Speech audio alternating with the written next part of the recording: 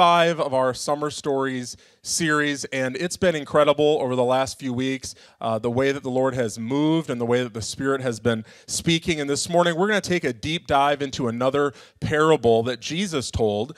And uh, I'm excited to share this one with you today. Uh, it's a powerful revelation of the kingdom of God. And as we've been talking about in this series, that's really what the parables are all about, is that Jesus is revealing to us aspects of the kingdom of God. And he uses story to convey these things because there's a real special message, a real specialness to these parables. What Jesus is communicating, he's doing so in a very special way because I believe the contents of what he's communicating is so rich, it's so valuable that he didn't just deliver it in any ordinary way. No, he he packaged it special because there are special contents that he wanted to share with his disciples. Then I believe there's some special revelation that God wants to share with us as his disciples here today. And so if you would turn in your Bibles with me to Matthew chapter 25. Matthew chapter 25. Really believe the Lord wants to move mightily in this message today, and I'm, I'm just filled with faith. I hope you are as well as we unpack the word. And so here's what he says beginning in verse 1 of Matthew 25. At that time, the kingdom of heaven will be like ten virgins who took their lamps and went out to meet the bridegroom. Five of them were foolish, and five were wise. The foolish ones took their lamps, but didn't take any oil with them. The wise ones, however, took oil in jars along with their lamps. The bridegroom was a long time in coming, and they all became drowsy and fell asleep. At midnight, the cry rang out, Here's the bridegroom, come out to meet him. Then all the virgins woke up and trimmed their lamps. The foolish ones said to the wise, Give us some of your oil. Our lamps are going out.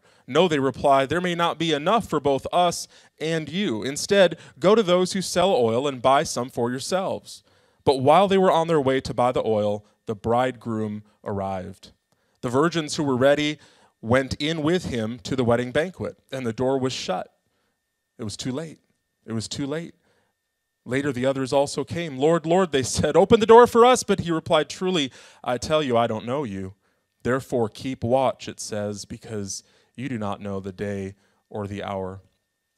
Now, the point of this text is normally eschatological in nature, meaning that it speaks of the end of all things, which is true. In fact, much of the parables point to Jesus' return, to the rapture of the church, the judgment of the wicked, the rewarding of the saints. And so the parables are rich in eschatological truth, in things that point to the return of Jesus, the point to the end of all things. But the word the Lord has for us today is, is just a little deeper than that. Is it all right if we go a little deeper today?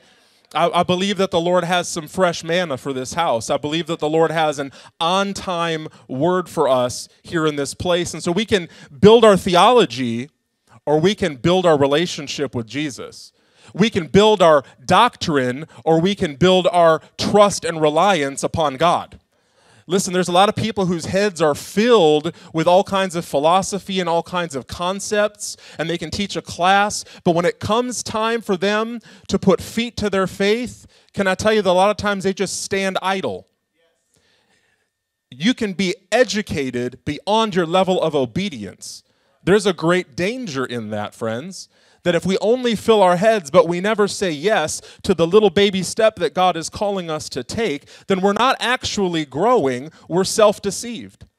Maturity in the Spirit is not tied to age. Maturity in the Spirit is not tied to intelligence. Maturity in the Spirit, hear me, is tied to obedience.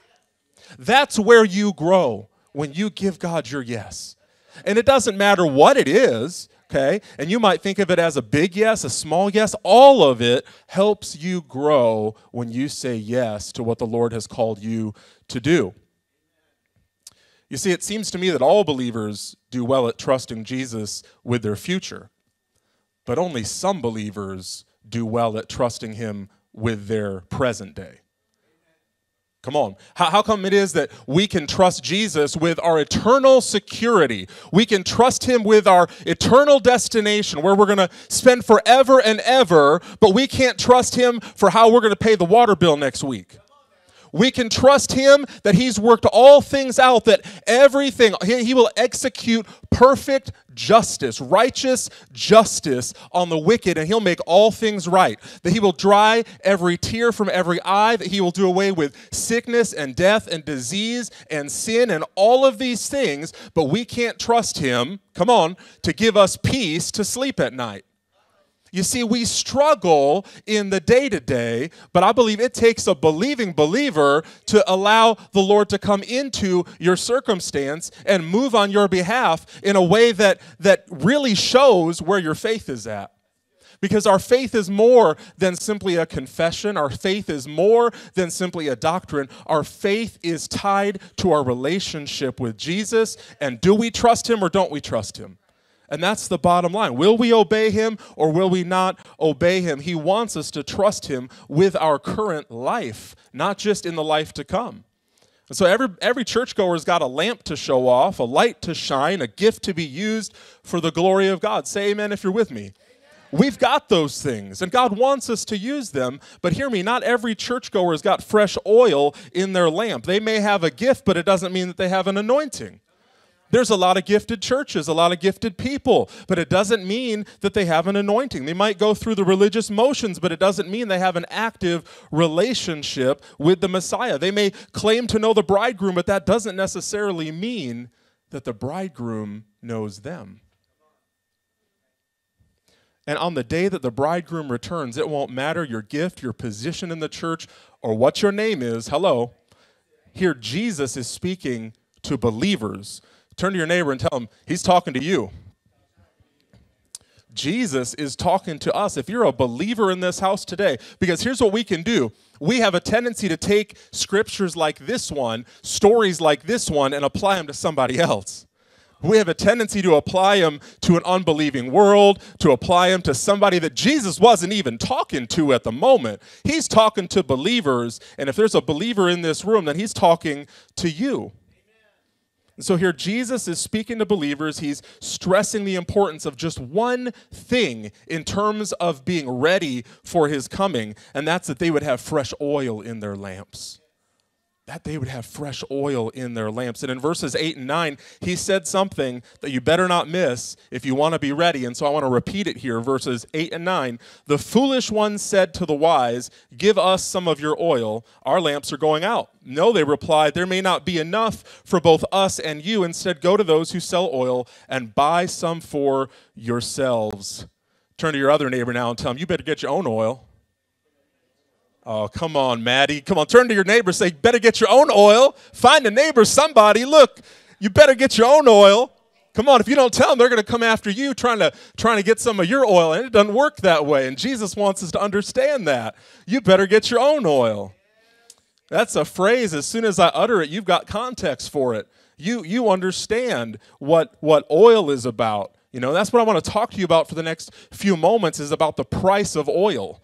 Come on, that's that's big headlines. The price of oil is in our minds. It's in the news. It, we're constantly seeing the signs for the the prices for these things. And I recently saw a meme circulating on social media. It had a, a close up of this uh, little lit up gas pump on a car's dashboard. Anybody else see this meme?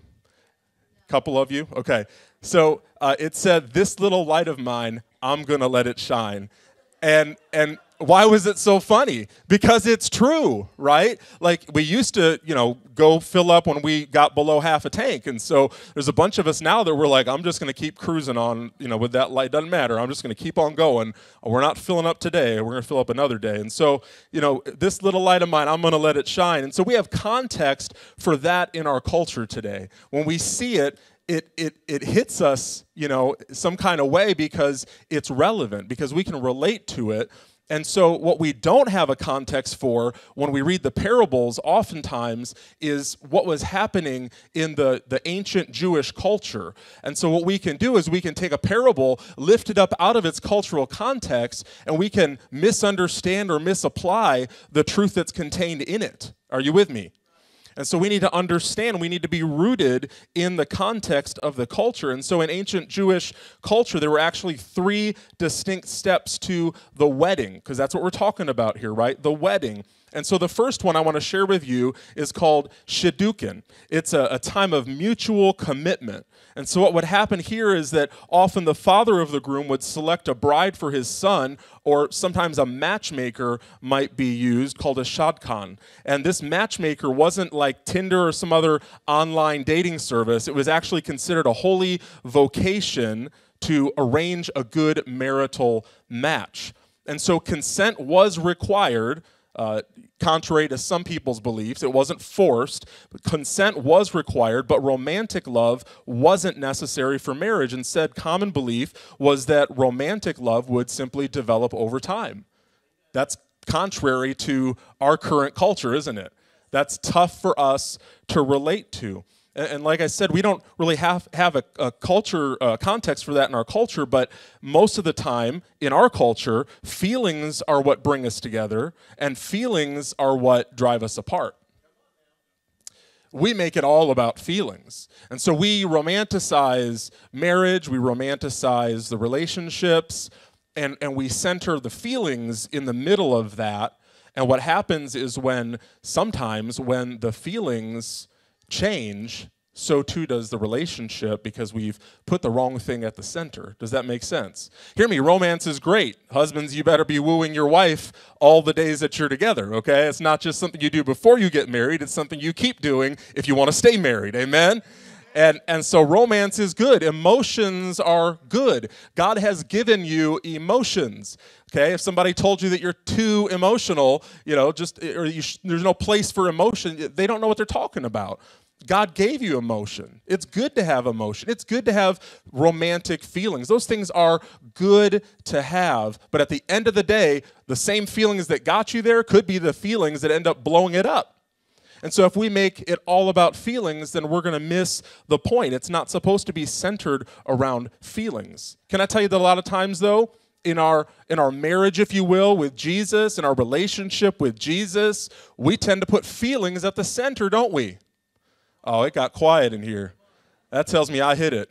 That's, that's where it's at. I hit the bullseye because I'm telling you, there are people who we walk around, Christians, who put our feelings at the center. And so when I'm getting what I want, my faith is easy. When the when the going gets a little bit difficult, when the road gets a little bit challenging, all of a sudden my faith, you know, takes a nosedive, and then I'm down. Well, I always say I picked up these phrases in Indiana. Okay, I'm not Southern, but I'm gonna say it anyway. We get down in the mully grubs. Okay, and so that's just where we find ourselves. My wife's probably the only one, maybe Wyatt, they're with me. They're like, yep, I know what that means. And so that's not what God's called us to. He's not called us to an emotionally centered faith where, where when we're feeling it in church and the music is just right, and, and we're sort of, you know, lulled into this position. But then when we get out into the real life and all of a sudden there's screaming and fighting and feuding and bickering and politics and all of these other things, financial pressures, our faith takes a nosedive and we feel some other kind of way. That's, that's not what we're supposed to be about. And so there was this matchmaker, though, that I talked about. And so uh, this, this matchmaker, uh, you know, the Bible says that nobody comes to God except that the Holy Spirit draw them, right? The Holy Spirit is our matchmaker. The Holy Spirit draws us to God. He makes sure that there is a, a good match there. And so that's why not everybody comes to the Lord. Now, it doesn't mean that they don't have an opportunity. Everybody is called. Everybody has an opportunity to come to Jesus, but some people just, they're not ready to make that match. Listen, I, have got some people who say to me, oh, if, if God would just do a big miracle in their life, then, then they would come to know God. If, if God would just speak to them in a way that they could just hear his voice, then they would come to, to know Jesus. They would enter into relationship with Jesus. And man, I wish it was that simple. I wish it was that easy. I wish there was a formula like that. But the reality is that I've seen too many times where somebody does get a miracle and still walks away and does not step into relationship with Jesus. I've seen where they hear the voice of God and it's and it's unmistakably him and yet somehow their heart was not prepared to embrace that relationship to engage in in a marital commitment uh, I'm I'm yours and you are mine forever and ever Jesus. No they they just they just wanted to have basically a one night stand. They just wanted they just wanted to get what they wanted and get out of it And Jesus is saying, I'm here for a commitment. I'm here for relationship. And sometimes people boil it down to a transactional thing. It's just all about what I can get out of it. And that's not what it's supposed to be about either. You see, sometimes people's big feelings for Jesus fizzle out. They're all in at first, but after a little while, they sort of start to lose interest. And so we need the Holy Spirit not just to draw us into salvation, we need the Holy Spirit to, to help us to continue to live this Christian life. Right? So, you know, his drawing to relationship with the Savior, it doesn't go away at salvation. If anything, it intensifies. If anything, that's where he really starts knocking on our door and saying, I want to spend time with you. I, I want to sit down with you. I want to share a meal with you. I want to meet face to face with you. I want you to hear my voice. I want to hear what's on your heart. He, he is beckoning you, He is drawing you all the time, not just before you knew Jesus, but even more so afterward. And, and, and it's up to us to respond and say, Yes, I want what you have to offer. And so, again, the, the first step to the ancient Jewish wedding is this shidduchin. And so, this time of mutual commitment, it came before the legal contract of betrothal. But it was here at this point in the process that the bride and groom would be separately cleansed, immersed in water, and uh, prepared for betrothal. So, this was a, a preparation season. Likewise, Jesus was immersed in the waters of baptism in the Jordan River, and you and I are asked to be immersed baptized in Christ. And so that, as I said, the next step is betrothal. Betrothal. And so this is a legally binding contract, and it involved the groom giving money or something of great value, maybe a ring to the bride, to seal their covenant vows.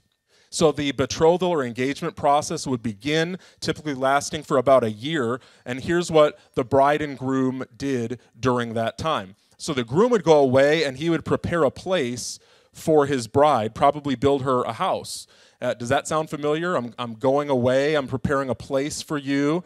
Come on, if, if my father didn't have a, a mansion with many rooms, then I wouldn't tell you. You know, he, he's speaking of something that is both literal, but also it, it is it is prophetic it is yet to come right so this parable is rooted in in judaic custom and ritual they understand the traditions that he's speaking of but it's also rooted in deep scriptural truth and, and in future events that are yet to come.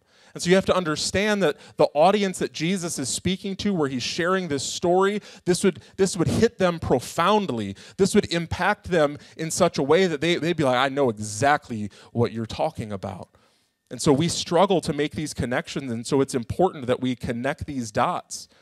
And so the groom would go away to prepare a place. The bride would focus on her personal preparations with things like wedding garments, right? Like think radiant white, think without spot or wrinkle, right?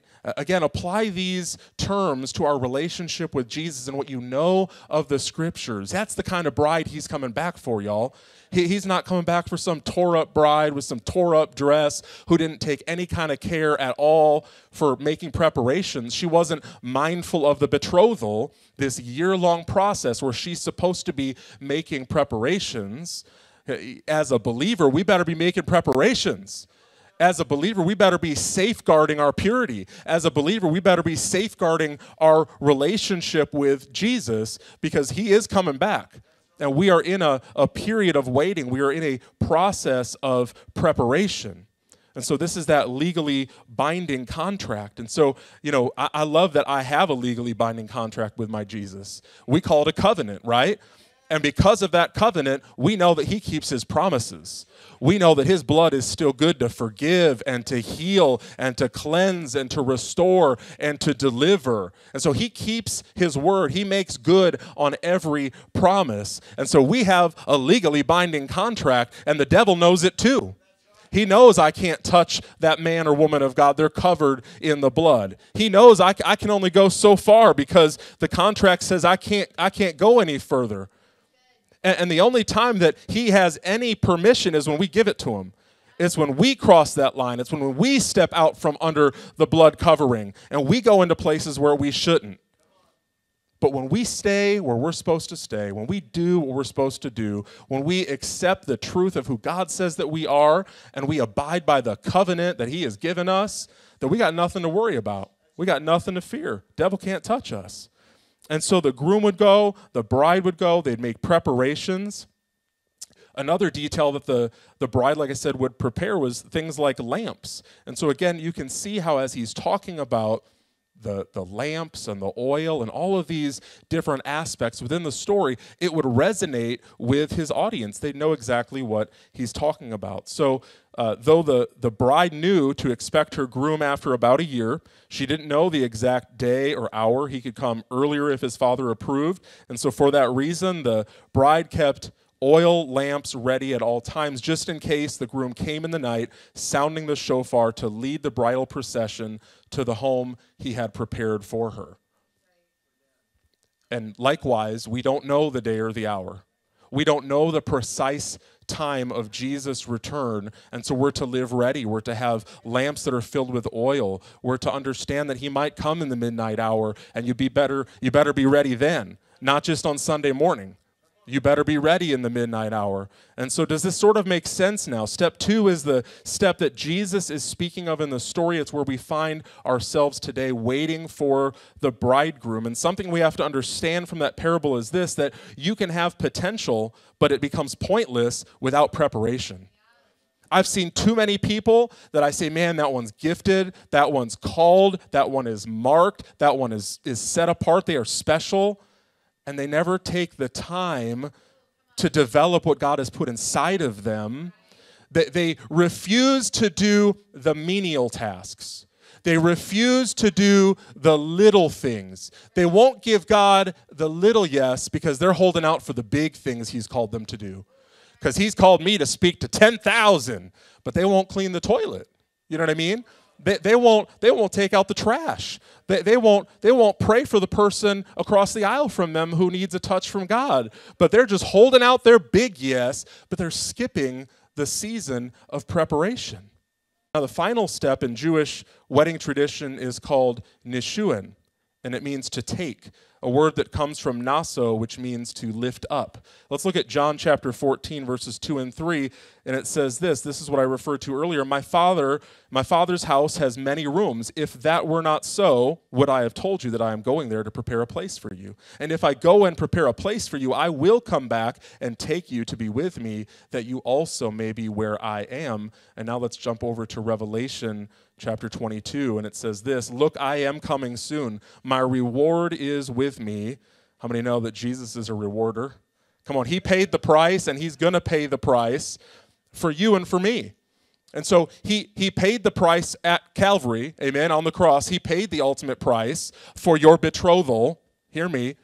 And, and he is going to come to reward us on that great wedding day, and he ain't coming empty handed. He's coming with a gift. He's coming with a reward. And he says, My reward is with me, and I will give to each person according to what they have done. In other words, what we do in this life matters. It's not just, Jesus, I accept you as Lord and Savior of my life. Amen. And then that's it. Because if that was it, then poof, God would just zap you up out of here. No, He has called you for a purpose. You, you are living in the time that you're living in, not by happenstance or coincidence. You have been given the gifts, the skills, the abilities that you've been given, the influence that you've been given, not by coincidence or on accident. God has positioned you because He has a purpose for your life. If there's still breath in your lungs, your mission is not complete. And so we need oil in our lamp, friends. You don't need oil in your lamp to be saved. That's not what I'm trying to say. What I'm trying to say is that we need oil in our lamp if we want to be ready for Jesus' return. Because one of two things can happen when you don't have oil in your lamp. Either you just don't you don't fulfill the mission, the task that the Lord has set before you, and, and when he returns, you're going to be woefully disappointed in yourself because you could have done all of these things that he has he has foreordained for you to do before the foundations of the earth. He had planned for you to do these good things that you neglected but because you didn't have the oil. The worst thing that can happen is when you don't have the oil which mind you the oil in the bible is always referencing the holy spirit and the anointing and when you don't have the anointing and you don't have the Holy Spirit empowering you, can I tell you that the Christian life apart from the Holy Spirit is impossible?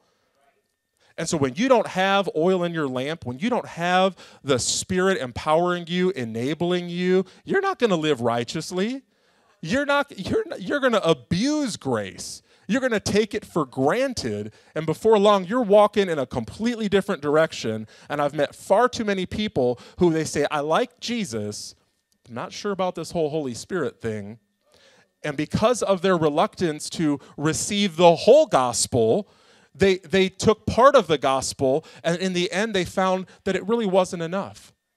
In the end, they found that it really didn't satisfy them and it really didn't sustain them. And that was never God's plan, friends. God gives us the full gospel, which includes the Holy Ghost, because He wants to sustain us. He wants to supply us. He wants to strengthen us. And you can't have those things if you've got no oil in your lamp.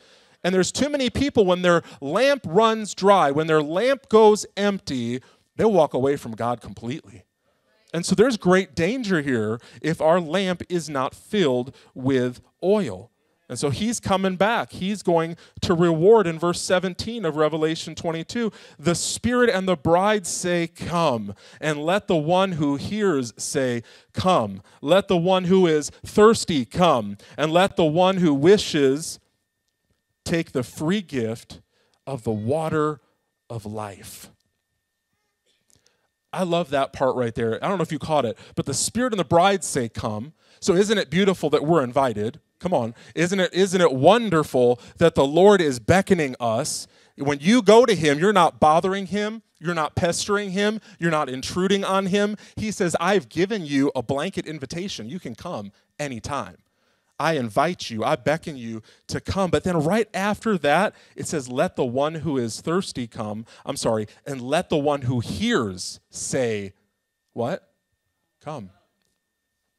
If you've heard the Lord say, Come, can I tell you, if you've truly heard his voice, if you've truly felt that tug on your heart of him drawing you in, and he says, Come, and you've entered into a true relationship with Jesus, then this scripture is true that let the one who hears now say, Come. You're going to extend the invitation to others. You're not going to hoard it for yourself. You're not going to say, This is just an exclusive relationship between me and Jesus. A, B, you see your way out of it. You're not going to do that. You're going to say, No, there's always room for more. And you're going to say, Come, come, come. That's the essence of the gospel message. Can I tell you, you don't have to be some anointed preacher. You don't have to be some powerful evangelist. You don't have to have a giant platform. If you can simply start with one one word, that's it, and it's come. Come. Come to church. Come to Jesus. Come to the Spirit of God. He's drawing you. Come. That's it. Anybody can do that. Anybody. And so, you know what that tells me? On the day that Jesus returns, we're all going to be without excuse if we don't simply do that. Everybody can say, Come, come, you're welcome. And so uh, we know the bridegroom is coming with his reward in hand. We know that he's prepared a place for us and he's going to take us up to be with him. And the only question that remains is will we be ready when he comes? Because, again, in our parable, there were five virgins, five or ten virgins, five who were wise and five who were not. We see that today still. We see many who are wise, we see many who are not wise. And, and oftentimes, what happens is we get them mixed up. The world will call Christians who are operating in the wisdom of God, they'll call us fools, right? And they'll call their foolishness wisdom. But in the kingdom, God sees it straight. He understands what true wisdom is and what true folly is. And on the day that Jesus returns, everybody who has rejected Jesus will be seen for the fool that they are. I mean, that's harsh, but it's true and, and those that have chosen to receive Christ will be seen for the, the wise ones that they are, because we have the wisdom of God. Now, now get this all of them were virgins, and all of them had lamps. So from the outside, they all looked the same. They all looked ready. They were all in the right place at the right time, and all of them even referred to the bridegroom in the same way Lord, Lord. Are you, are you hearing me? How many times can we show up on a Sunday morning and, and you and I have no ability to distinguish, right, between one and another, but the Lord looks down and he sees. He sees who's truly his. He sees who's truly consecrated to him, who's truly betrothed to him, who's really in relationship with him. And so we can play the church game, but it doesn't fool God. We can go through the motions, say the right words. We can wear the right clothes. I don't anymore. I decided I'm just going to be me. And I found out that Jesus says, Come, come. And I love that. And so, but look at Matthew 7 and 21. Not everyone who says to me, Lord, Lord, will enter the kingdom of heaven, but only the one who does the will of my Father who is in heaven. In other words, I don't care what you say, I, I want to see it backed up with your life. Do, do you actually walk the talk? Verse 22 Many will say to me on that day, Lord, Lord, did we not prophesy in your name, and in your name drive out demons, and in your name perform many miracles? Then I will tell them plainly, I never knew you. Away from me, you evildoers. So, again, this tells us that we can come to church, we can look the part, you can even serve in ministry and still not be a friend of the bridegroom. This should terrify us. That we could do all the right things and, and have all the right appearances and, and, and even wear, wear the badge and have the title and hold the microphone and still not be a friend of the bridegroom. It's dangerous, friends, but we can do church without the Holy Spirit. We can do church without oil in our lamps. And the sad reality is that many do. And many don't even notice. They aren't able to distinguish the five wise and the five foolish. Can I tell you that there is absolutely no wisdom in the eyes of man in doing the things of the Spirit? Man will look back and say, That's foolishness. Look at them jumping. Look at them dancing. Look at them. What are they? What are that's? They look stupid, like idiots. They probably check their brain at the door. You ever heard that one? Yeah. Check their brain. Those spirit filled, but they just check their brain at the door. They will look on that stuff and call it foolish and look on, you know, their reserved selves and, uh, you know, and this is wisdom. Wisdom is to sit here and do nothing, right? They've got it backwards. They can't see that wisdom is saying, Yes, Holy Spirit, because I my righteousness is as filthy rags. I do not have the power or the ability. If Jesus said to the disciples, I need you to go out and share the good news with the whole world, this is all on you guys. You 12, go out and radically revolutionize the world. Wait, wait, wait, wait, wait. But not yet. Hold on. You need to wait until you are endued, until you are clothed with power from on high.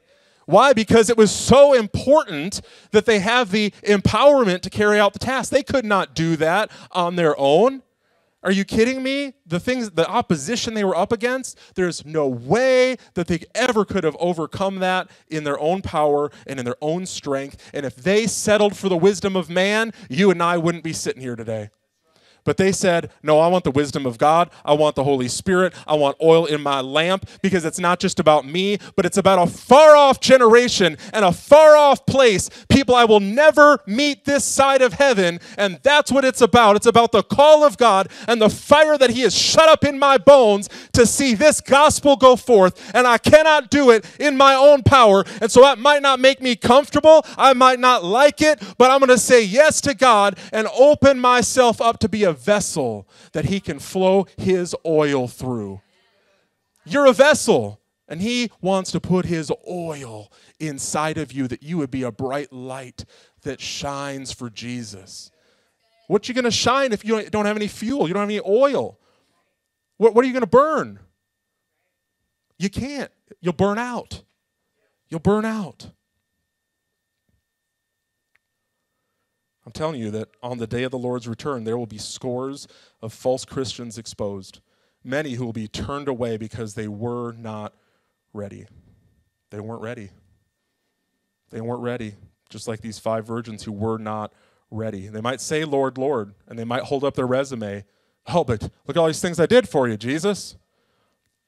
I'm sorry, that's not a backstage pass. You know, I don't know what you're waving that thing around for, but you can't come in. I don't know you. I don't know you. They didn't have oil in their lamps. See, Jesus isn't coming back for a worthless church full of empty lamps. He's returning for a bride with hearts set ablaze by the fire of the Spirit. You know, some people think they can go from matchmaker to matrimony, but they want to skip over betrothal, skip over that year long preparation period. They want the ring without the requirements, the new house without a new heart. These are what I would call gold digger Christians. There's, there's too many gold digger Christians running around today. They're in it for what they can get out of it. It's not really a give and take kind of relationship, it's a take take transactional kind of a thing. I'll take the forgiveness. I'll take the joy. I'll take the salvation. I'll take the peace. I'll take the acceptance. But I don't want to pay the price for oil. Hear me. Grace is free. Forgiveness you don't have to pay for. But the oil is costly, friend. It's going to cost you. It's going to cost you, just like when you give your yes to the Holy Spirit, when you give your yes to the oil, you're going to have to give your no to a lot of things too if you want to guard that oil because I'm telling you, there's a bunch of fools who want to come around and snatch your oil. I don't have any. Can I have yours?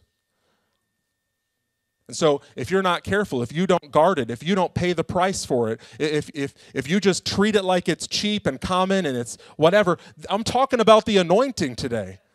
I'm talking about the anointing. The anointing, what is that? It's that supernatural empowerment. It's the super on your natural, right? To empower you, to give you the ability to do what you can't do, to say, come, and for it to actually work. It's one thing to say, come. You know, it's another thing for somebody to say, you know, I feel something in here.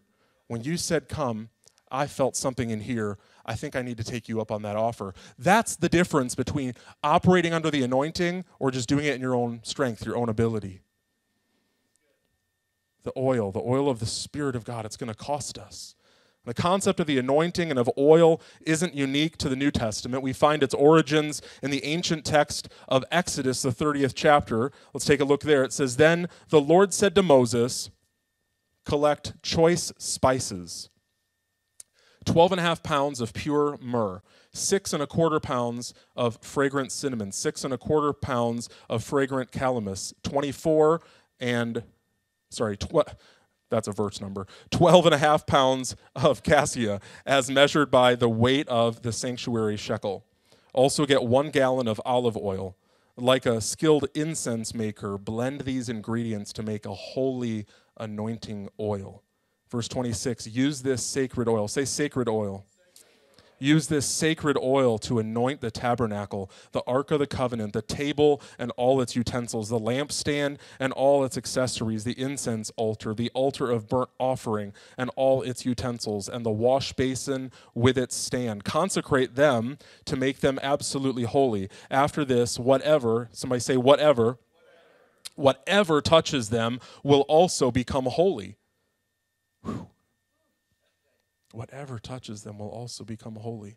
Verse 30 Anoint Aaron and his sons also, consecrating them to serve me as priests, and say to the people of Israel, This holy anointing oil is reserved for me from generation to generation. Whew. If I was to be a part of a tribe of Israel, I'd want to be a part of the tribe of Asher because they were known for oil.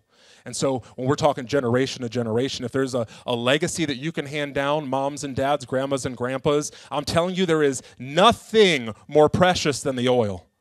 Nothing more precious. If you're going to leave an inheritance to your children and to their children, you better have some oil saved up for them. I'm telling you, you can put money in their piggy bank. You can you can send them off to college, and you can you could have them be the you know Mr. Iowa basketball player or whatever it is, whatever it is. Those are all fine things. But at the end of the day, if you didn't give them any oil and their lamp is empty, the rest of that stuff's going to burn up. They better have oil. You better have oil if you want them to have oil. And so when the oil touches your life, whatever it touches becomes holy. Yeah, man, that's powerful. And scripture tells us that without holiness, why does holiness matter? Without holiness, no one will see the Lord. Nobody. So let me ask you, what makes you think that you will get to see the Lord if you don't have oil in your lamp? We got to have holiness. And you can't have holiness without oil in your lamp. What makes you think the door won't be shut to you if you've shut the door to the Spirit of holiness and don't welcome Him in to touch and cleanse you? You need his touch. You need his cleansing. You need the oil in your lamp. You need to be refined. You need to be made more like Jesus. You need to be made holy. Jesus is returning for a bride dressed in radiant white, free of spot and wrinkle. You can't have that if you skip the betrothal of the Holy Spirit. You can't. You won't show up radiant white. You won't show up wrinkle free, spotless. The Holy Spirit is the only one who can prepare you to be presented in that condition. Bottom line. So he's the one who draws you, he's the one who calls you, he's the one who reveals Christ to you, but he's also the one who purifies and sanctifies us and gets us ready for the wedding. If we try to do things our own way, Jesus warns you'll end up on the wrong side of that door holding an empty lamp, a stranger to him. Let's go back to the beginning. Who's he talking to? Believers. Believers. Believers. Because we can look at this and we can say, Yeah, you unbelievers, you better be careful. You might find yourself on the other side of that door. And Jesus can say, I don't know you. He's not talking to them. I don't know how many times we have to say that to our kids, right? I'm not talking about them, I'm talking about you, right? How many times must the father have to say that? Hello, I'm not talking about, I'm talking about you. And right here, he's talking about you. Not you, Jew. He's talking about you. And so he's talking about me. He's talking about us. He's talking about believers. And we run the risk. This is Jesus talking. Okay? This isn't Paul. This isn't Peter. This isn't John. This isn't James. This is Jesus. And I don't know anybody who's going to refute what Jesus says. And he makes it really clear believers who he is addressing, you run the risk of being on the wrong side of that door if you have no oil in your lamp we better pay attention to what he's talking about here. So make no mistake, when Christ returns, he will separate the wheat from the chaff, the ones who truly loved him from the ones who merely love themselves. And when you truly love him, you'll love the oil. You know, my wife could buy me a lot of different things. My kids, they could buy me a lot of different things. But honestly, at the end of the day, nothing would mean more to me than a heartfelt sentiment, right? I mean, you're probably the same way. Your spouse, your kids, your grandkids, you know, they could buy you something fancy, but really what you want is something from their heart. And, and you're never going to dislike what they give you when it comes from their heart. And the same should be true that if you love Jesus, you should love the gifts that he gives you, and we should love the oil. We shouldn't just tolerate the oil. We shouldn't just theologically agree with the oil. We should love the oil. I need the oil. I love that oil. I love every gift that my Jesus gives to me. And when you truly love others, you'll love the oil. It's how we'll fulfill the law and the prophets. It's how we fulfill the great command of Jesus, found in the very same chapter, by the way, as this parable we're talking about, the command, the great command of Jesus, same chapter as the parable of the ten virgins in Matthew 25. And, and, and the foolish here, they thought that they could, you know, snag some last second oil from the wise people, right?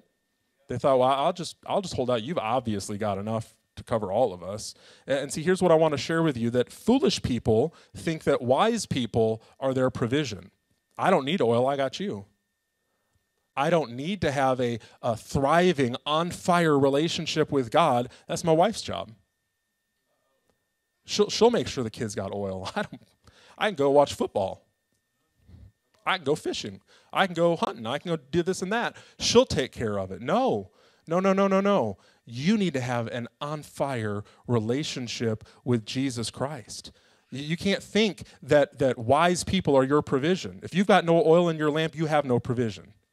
There is no provision, not for you, not for your children, not for anybody and, and you and I, again, we are called to a very specific task. You are gifted for a very specific purpose. And if you don't have oil in your lamp, nobody else's oil is going to do you any good. Bottom line. And so we can't, you know, the Pharisees, by the way, that's how they got into this whole thing. You know, we need we need some good scholarly religious people to lead us, right? And and people gave their trust to these people who turned out to be hypocrites turned out to be the number one enemy of Jesus, the number one group that he was rebuking over and over and over again. They're the ones who irked him to the point that he's flipping tables and cracking whips, right? Okay? And these are the ones, but because the foolish people said, we need some wise people to be our provision, they settled for less than the provider. They settled for less than oil. They walked around with empty lamps and said, the priest will take care of that for us. Can I tell you that I'm not your provision? Your Sunday school teacher isn't your provision. Your, your kids, you know, children's minister is not their provision. We need to have the provision of the Holy Spirit, not just for adults, y'all. The kids need the oil too. There's no junior Holy Spirit. They need the Spirit of God every bit as much as you and I need the Spirit of God. So we need to understand that an oilless church is in trouble. An oilless church is in trouble. A church without the oil of the Spirit is an empty lamp without holiness. And they won't see the Lord. It's not just an individual thing, but it can be a corporate thing too. As a church body, we, you can have smoke and lights, you can have a jumbo LED screen, but at the end of the day, none of that stuff's going to bring breakthrough. It's not. None of that stuff's going to bring deliverance. None of it will bring healing. The church in America is full of fanciful gadgets today, but has no oil. This is a rarity. I understand that. To have, to have a preacher in a pulpit today in 2022 preaching on the oil of the Holy Spirit that we need this is a rarity, let alone somebody under the age of 50 preaching on the oil of the Spirit. It's a rarity. More and more, it's becoming a rarity. But I believe that we need it. I believe that the, the, the, the lights and the smoke, and I'm not saying those things are bad, hear me, but they're not going to bring deliverance. They're not going to bring breakthrough like the oil of the anointing. Relevance to a blind man isn't how cool is your light show. Relevance to a blind man is do you know a man that can make me see? Relevance to a broken family is not how cool is your church. Relevance to a broken family is can you take me to a man who can heal our wounds? We need that kind of an anointing. We need that kind of oil flowing. And I'm telling you, there's a there's a, a thought today, even in the church of Jesus Christ, that says that the oil is not relevant. Can I tell you, there's nothing more relevant than the oil. There's nothing more relevant than the anointing. There's nothing more relevant than the Holy Spirit because it's the oil that makes the difference. It's the oil that makes the difference. It's the anointing of the Spirit on our lives. It's God's presence on our being that empowers us to do what He's called us to do in a way that brings life and hope to people in the darkest places in the darkest places. And I don't ever want to live without the oil of God in my vessel. Never. Because Jesus doesn't want us just to have oil for Sunday mornings at church. Jesus wants us to have oil burning inside of us, that, that burden removing, yoke destroying power of God that we need to proclaim freedom to those who are in bondage and under oppression by the enemy. Look, anybody can have enough oil for a sunny Sunday afternoon, but the question is does your lamp burn bright in the midnight hour on Friday? Does your lamp burn bright in the midnight hour on Friday? Your life is meant to show people what Jesus is like. You know that, right? And he came into the darkest places, to the most hopeless and broken of situations. Your oil is meant for that. Your oil is meant to light a lamp that goes into the darkness, that goes into the hopeless and into the broken situations, that they would say, Oh, that's Jesus. I thought Jesus was just for Sunday mornings. I've never met a Christian who actually would step into my mess. I've never met a Christian who would actually step into the darkness. I've never met a Christian who would step into a conversation that is laced with profanity and all kinds of filth while I'm, you know, drunk out of my mind Jesus would do that. Jesus would engage with, with a drunken person who is incoherent and screaming and cussing, and he would do it with love. Because, because hear me, he was anointed. He had the Spirit to overflowing. To the fullness of the Spirit was demonstrated in Christ. That means his lamp was always full. No matter how much he poured out, his lamp was always full.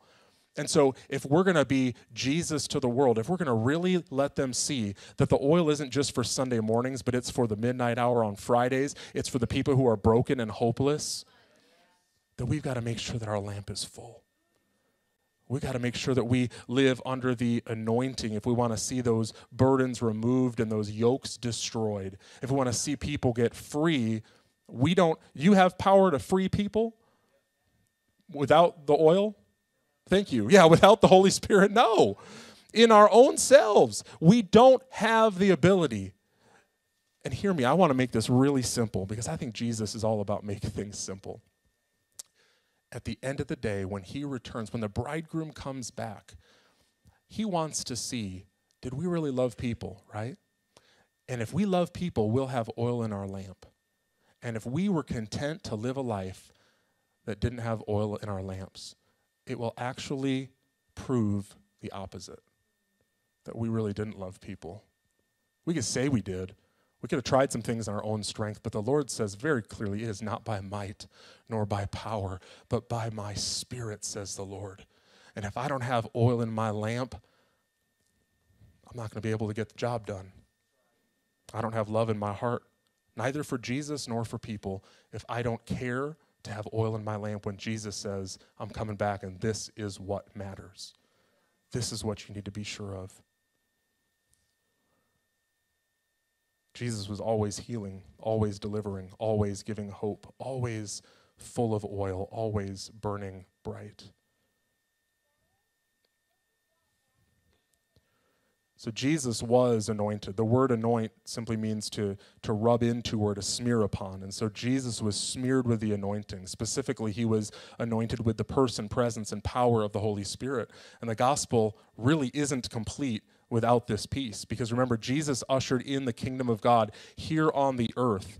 He called us to follow his example of doing what? Bringing heaven down, bringing heavenly realities down into earthly situations, bringing the kingdom to bear in, in difficult situations.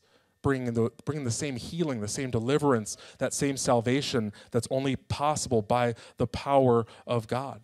This gospel message wouldn't be good news if Jesus called us to do something that, that he didn't empower us to carry out. If the good news ended at Jesus did this for you, end of story, then okay, fine. But it doesn't end there.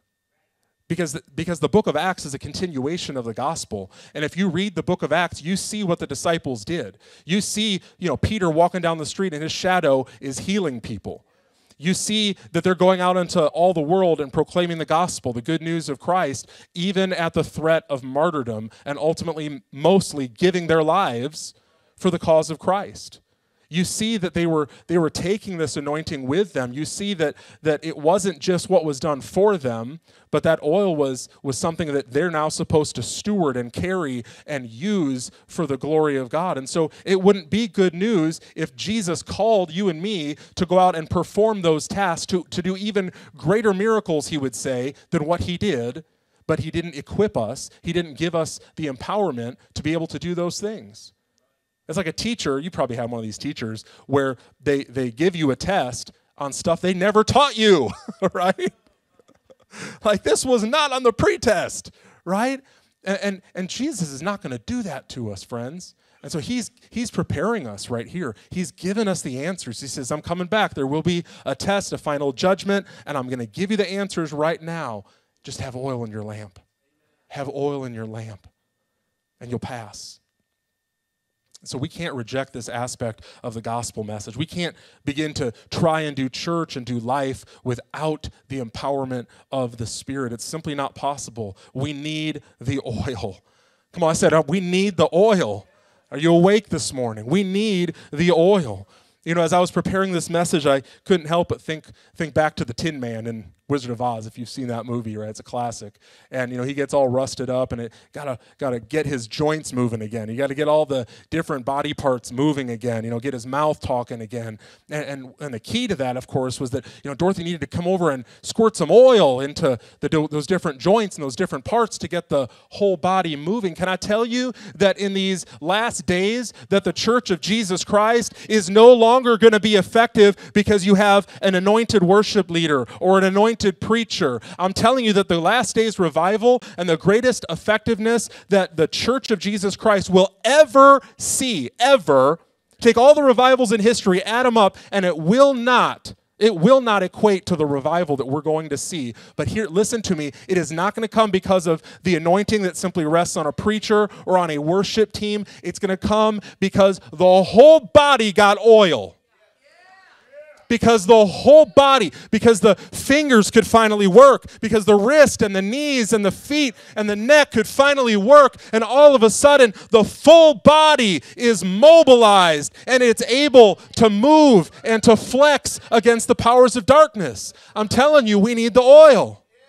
The whole body needs to be activated. You need the oil. We need that burden destroying, yoke removing power of God. So, Jesus, he's not going to settle for an oilless church, and we shouldn't either. It's what fueled the New Testament church. Let's look at Acts 10 and verse 36. You know the message God sent to the people of Israel, announcing the good news of peace through Jesus Christ, who is Lord of all. You know what has happened throughout the province of Judea, beginning in Galilee after the baptism that John preached how God anointed Jesus of Nazareth with the Holy Spirit and power, and how he went around doing good and healing all who were under the power of the devil because God was with him. So, again, this is our perfect picture, our model of the anointed one, who, again, he emptied himself of his divinity and he allowed himself to be a vessel filled up with the oil of the Holy Spirit so, the same way that he did it is the same way that we do it. And I love the power of those five little words. I don't know if you caught it, it was at the end of verse 38. Those five little words because God was with him. Because God was with him, there was healing. Because God was with him, there was deliverance. Because God was with him, there was freedom. And then just a few verses later, in verse 44, we read this While Peter was still speaking these words, the Holy Spirit came on all who heard the message. The circumcised believers who had come with Peter were astonished that the gift of the Holy Spirit had been poured out even on Gentiles, for they heard them speaking in tongues and praising God. And now pay, pay close attention here because I really want you to get this. The anointing that was on Jesus came upon Peter. The oil that was on Jesus' life was now on Peter's life. And as Peter allowed himself to be used as a vessel for the Lord, the oil began to spill out. The anointing got poured out onto the Gentiles. The anointing got poured out onto the unbelievers. The oil began to spill out on the heathens, on the pagans, on the sinners. You know some sinners in your life? You know some sinners that could use a little bit of that oil? The good news is that it wasn't just Jesus, the anointed one, it wasn't just Peter, the anointed one, and the apostles, and those that we want to put up on a pedestal. And he says, You're my anointed ones. And he says, I don't just want that anointing and that oil to touch your life, I want it to touch their life too. Whoever whoever they is. Who's that person in your life that you're believing for? I want them to come to know Jesus. They need a touch of God. I'm telling you that if you will fill your lamp with oil, they stand a chance. If you don't fill up your lamp with oil, I can't promise you this, but I want to at least ask the question. If you don't fill up your oil, your lamp with oil, what if they don't stand a chance? What if? What if? What if the Lord has positioned you for that task? And when He comes back, they will be on the other side of that door. You might be on the right side, but they might be on the wrong side. And it might be, just a suggestion, it might be, at least in part, because you didn't bother to fill your lamp with oil. You loved them you tried in your own power and in your own strength. But God said, if you would have just let me oil that thing, it would have run a whole lot better. If, if you would have just let me fill that lamp up, it would have shined a whole lot brighter.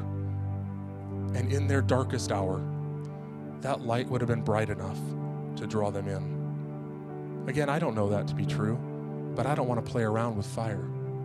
I don't want to take the risk of not having oil not just for myself, but as a Western Christian believer, I believe that it's time that we push back consumerism, push back against the idea that it's all about my personal relationship with Jesus. Hear me, that's important, but it's not all about. Those people matter. The people who haven't heard, they matter. The people who are going through a rough patch, they matter. The people who find themselves in the places now that Jesus found us back then, they matter.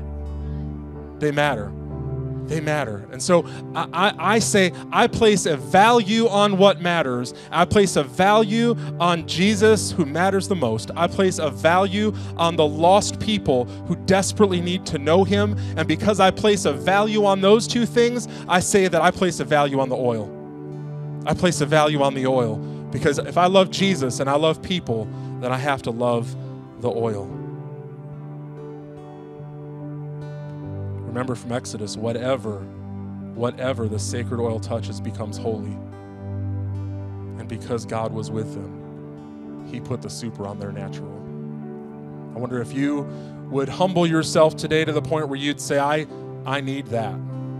I need that empowerment. I need Him to come alongside me. I need His oil to be upon my life, to assist me to do what I know that I can't do on my own. But hear me again, friend. I'm not here to sell you cheap oil. The oil that we're talking about was comprised of five ingredients. Three or four of them, at least, were, were fragrant and they were costly. One of them only grew at elevations of over 8,000 feet. You'd have to make quite the hike, quite the trip to go and get this particular ingredient. But God was specific about how the anointing oil was to be made and that there was a price that was involved, that it was costly. I'm not here to sell you cheap oil. I'm here to be honest with you and to tell you that it will cost you. There will be a price involved. And if you give him your yes to fill your lamp with oil, then you better be prepared to give your no to some other things. Because if you're like me, you don't got money for everything in the world, right? If I'm going to buy this, then I can't buy that. And it works the same way in the kingdom. If I'm going to prioritize this, then I got to quit prioritizing that. Some people want to have their cake and eat it too, but God's going to push you out of your comfort zone. When you buy oil, He say, "Okay, you want all in on that oil." Then you're gonna have to you're gonna have to give your no over there. You're gonna have to quit being about this. You're gonna have to shift your priority from over there to over here now. And so there's gonna be a requirement that comes along with that. So I'm gonna ask you if you would just to stand to your feet as we get ready to close.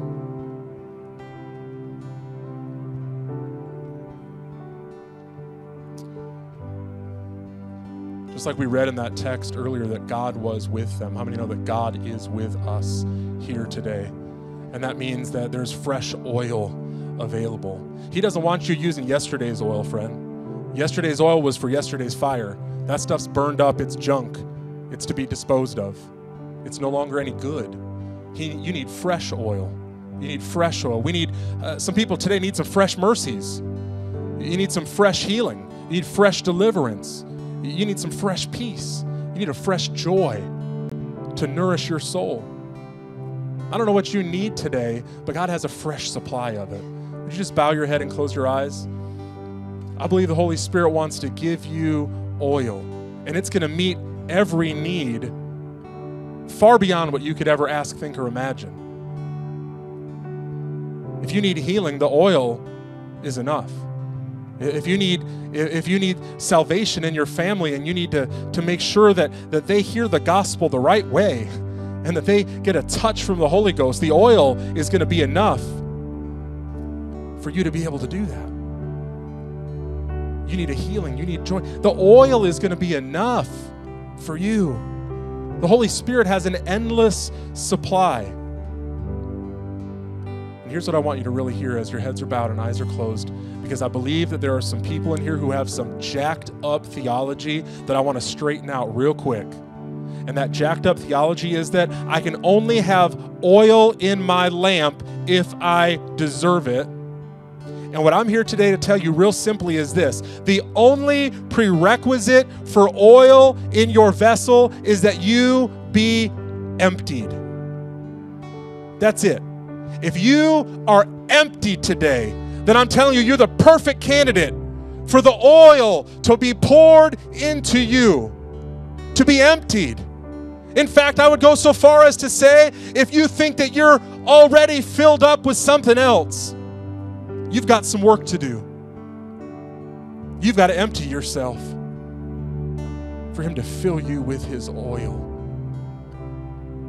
Again, that oil is a fragrant aroma. That oil puts off like an incense up to heaven. It puts off an aroma of worship from your life that is glorifying, that is pleasing, that will draw others in. It's attractive. The team's going to lead us in a song.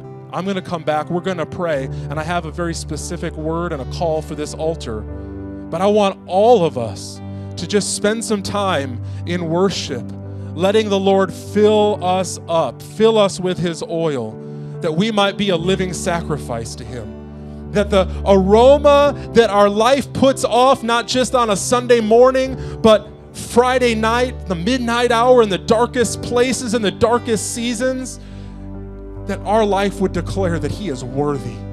He is worthy Lord, I'm going to fill myself with oil because you're worthy. God, I'm going to go to that neighbor and tell them about Jesus because you're worthy. I'm going to go and forgive that person that I've been holding a grudge against because, God, you're worthy. You're worthy of it all, and I'm ready to lay it all down. And so, this altar is, of course, always open. We're going to worship for the next few moments. Would you just declare how worthy He is? Would you, would you let your life become a fragrant aroma? that rises up to heaven. And as you lift him up, as you empty yourself of you, would you become that container, that vessel that you say, God, would you fill me? Fill me with the oil of your Holy Spirit. Let's do that now for the next few moments. I'll come back together here and we'll, we'll pray as we close.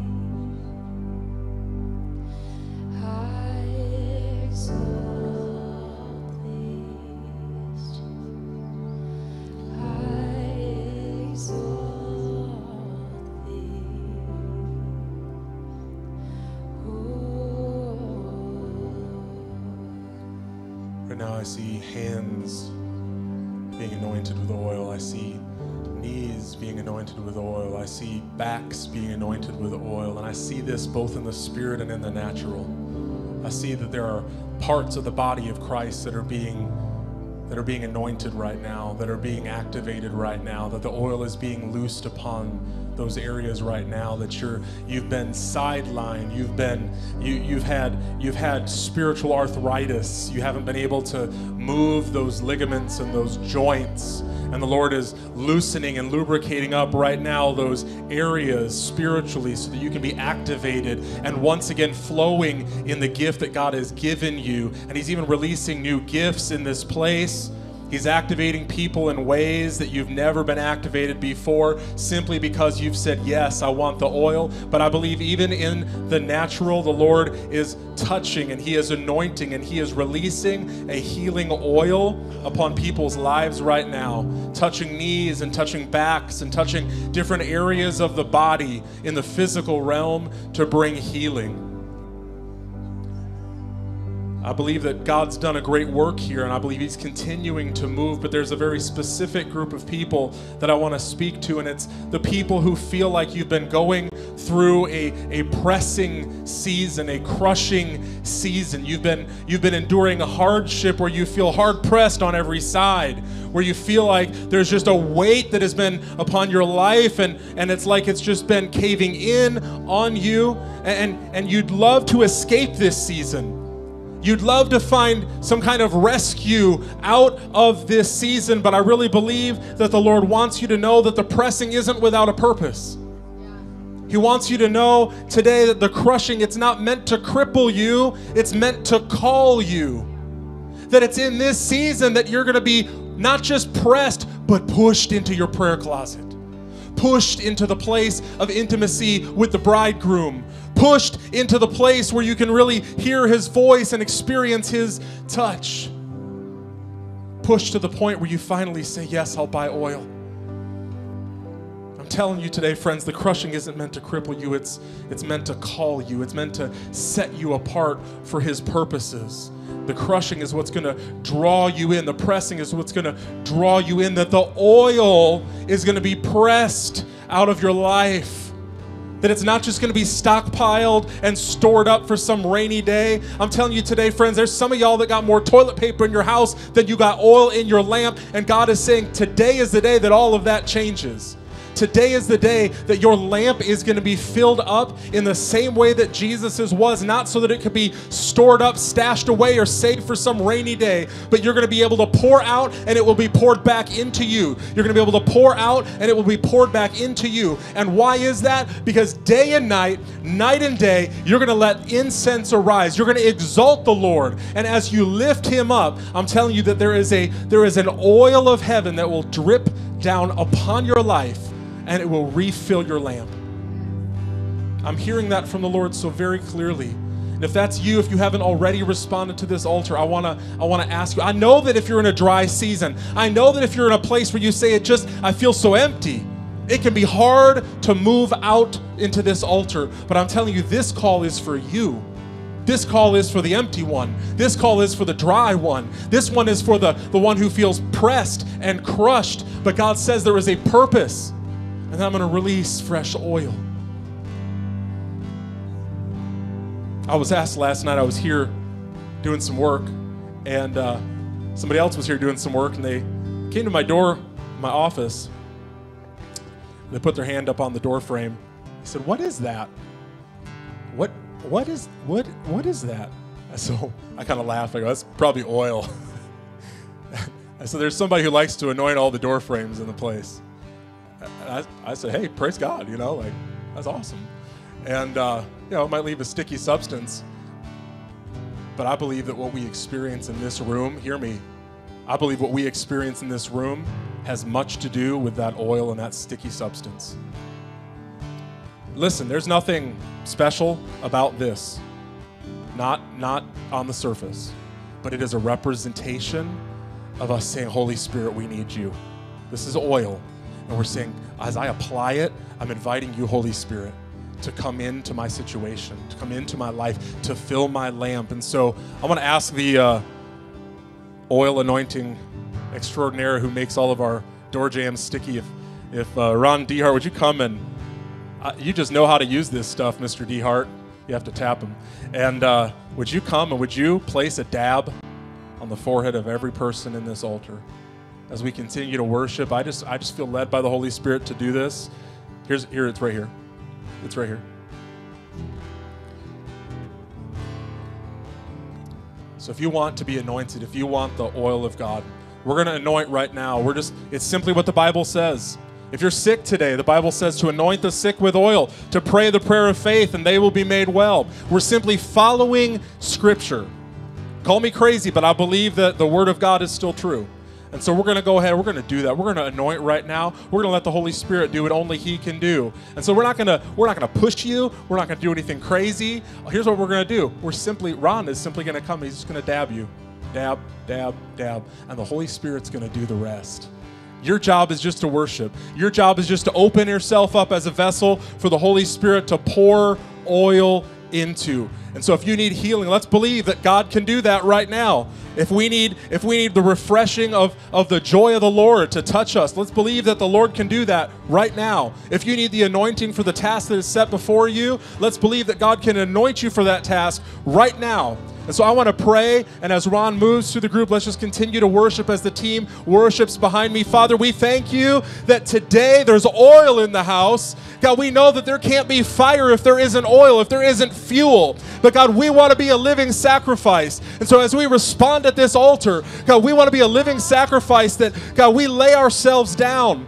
And God, that you would fill us with your oil. God, that we would be burning ones, that we would burn brightly for your name's sake, that when we say that we exalt you, that we do it more than with just our words, but with our lives. So, Lord, let us be filled with the oil of the Spirit. Let us be ignited, God, set ablaze for your glory. God, that you would be exalted in all the earth. God, not just on Sunday morning, but on Friday night in the midnight hour. God, that we would be sent ones, that we would be ambassadors sent out to shine as bright lights on the backdrop of a dark world. God, in the midst of, of dark and troubling times, use us, Lord God, to be a beacon of hope. God, we're not here to curse the darkness, but God, we want to be the ones that you set ablaze that would point people to Jesus. So, Lord, we ask that you would do that. God, for those that are in need of a healing touch, God, as, as Ron touches them with that oil, God, I pray the Holy Spirit would course through their veins like only you can, oh God, touching them from the top of their head to the soles of their feet. For those that are in need of the oil of gladness to just fill their hearts with joy, God, in the midst of a difficult season. God, I pray that you would just fill them to overflowing with a joy unspeakable, a joy that doesn't even make sense, a joy that bubbles out of them with laughter, God. They can't even put it into words, but God, they'll just laugh in your presence. God, I thank you, Lord, for the anointing that's coming upon people's lives. God, for the way that you're activating them into the gifts and the callings of the Holy Spirit for them. God, I thank you, Lord, for that fresh anointing and lubrication of the oil of the Spirit. God, for those that are feeling crushed and pressed in this season, God, I pray that they would lay themselves down and say, Lord, I'm not going to let this season be wasted. I'm not going to turn my back on this season, Lord God, that you want to bring good out of. The enemy might have orchestrated it for my harm, but God, you're going to use the pressing, you're going to use the crushing, and out of it will flow oil. Release your oil, oh God. Release your oil, oh God, in our lives right now. In Jesus' name.